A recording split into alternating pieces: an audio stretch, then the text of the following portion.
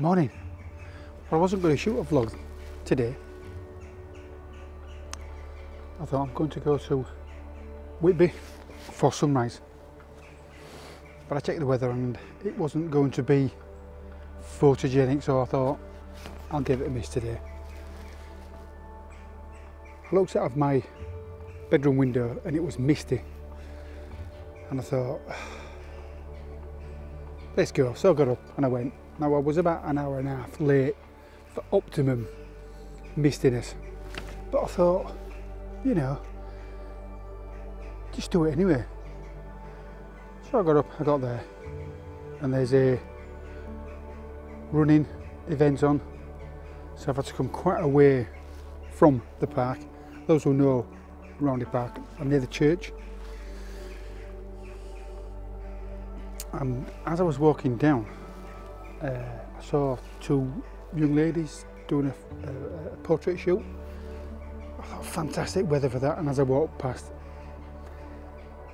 we said hello. And as I walked away, I could see in her eye she needed some help. And she said, You might be able to help me. So I gave her a few quick quick tips. She was just about there, if I'm honest. Uh, shutter speed was just a bit too slow, so she was getting um, out of focus, blurry photographs, and also her, she was focusing on occasion on the background. So walked away, she was really happy. I even got a high five which for a 56 year old was, was really impressive.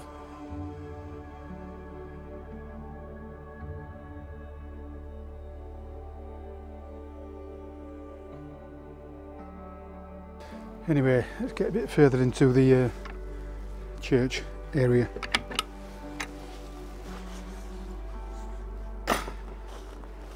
So I just got into position for my second segment and I think the Roundhay Park Dog Walker Society decided to walk through. So I've had to recompose and move myself. Now I've got the camera set on continuous tracking. Never used it before, so I'm hoping I'm going to stay in focus. If I'm not, I'll be out of focus.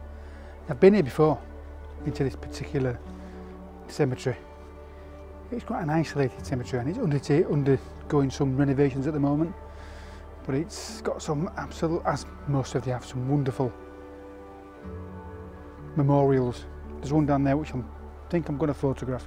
Don't think it's too intrusive or uh, impolite, but I'll have a go at that. Anyway, most of the mist, I'd like to say is burned off, but there's no sun, but it has heated up a bit, so it, it is a bit warmer, so a lot of it has gone.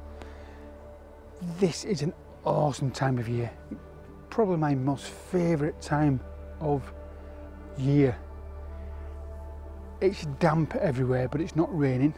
And there's no real moisture in the air.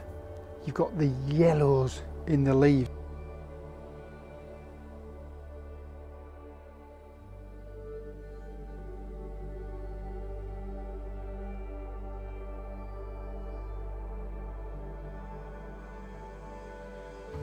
Yeah, so you've, you've got the you've got the, the cool tones of the, the general environment. You've got the lovely oranges and yellows and greens that really pop.